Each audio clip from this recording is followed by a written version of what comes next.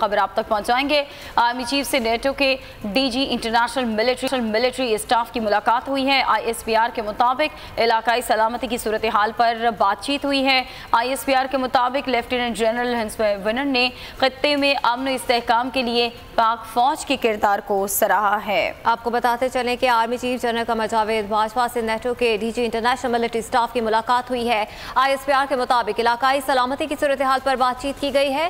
Lieutenant general hence Warner نے خطے میں امن و استحکام کے لیے پاک فوج کے کردار کو سراہا ہے۔ احمد منصور سے اس ملاقات کا مزید احوال جانتے ہیں۔ احمد منصور، اس حوالے سے مزید آگاہ کیجیے گا۔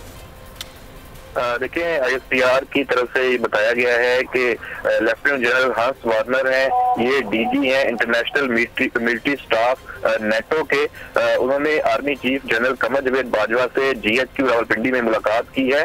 اور اس ملاقات میں جو باہمی دلچسپی کے امور ہیں، خاص کر جو علاقائی سلامتی صورتحال ہے، اس پر بات چیت کی گئی ہے۔ جو نیٹو کے ڈی جی ہیں، انہوں نے پاکستان فوج کا جو کردار ہے، اس خطے میں امن استحکام کے لیے اس کو سراہا ہے۔ جی۔ ٹھیک ہے، احمد منصور، اس ملاقات کے احوال کے حوالے سے آگاہ کر رہے تھے، آپ کو بہت شکریہ۔